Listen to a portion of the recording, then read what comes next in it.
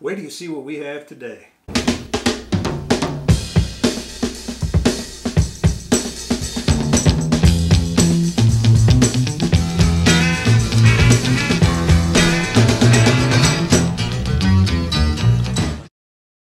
Hey, welcome back to the Fitting Guy. Today we have something very special to introduce. A few weeks ago, we introduced our billet reservoir, replacement reservoirs for Wilwood master cylinders. And I told you at the time we've got something else that we're coming out with, and here it is. And it's a remote reservoir system.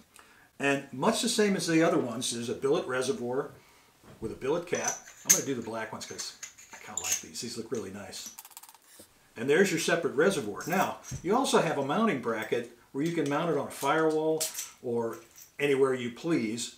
Uh, you could build a bracket for it, but it gives you all kinds of flexibility to put this where you want it. And you could do some really cool things with this. On the master cylinder, you still have a, a decorative sleeve that goes on here. You've got an ORB fitting. And then you have to make a choice. You can come straight out of it and over to a 90, depending on how you want to set it up. Or you can put the 90 on here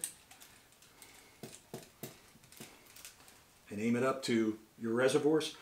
And we can make different configurations of this hose if you want a longer one or a shorter one, but there's all kinds of ways to do it.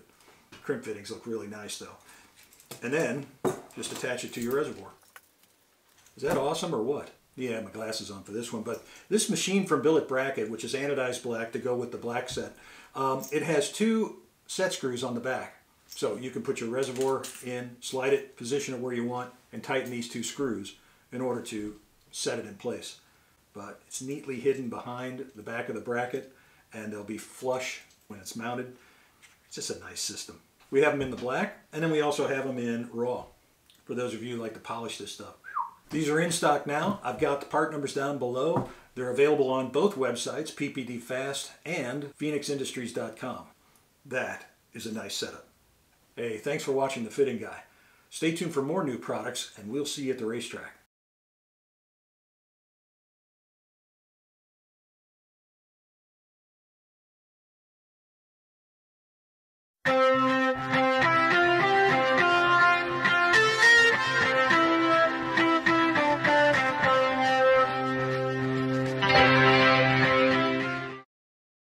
Guess I gotta shim my desk. Stop!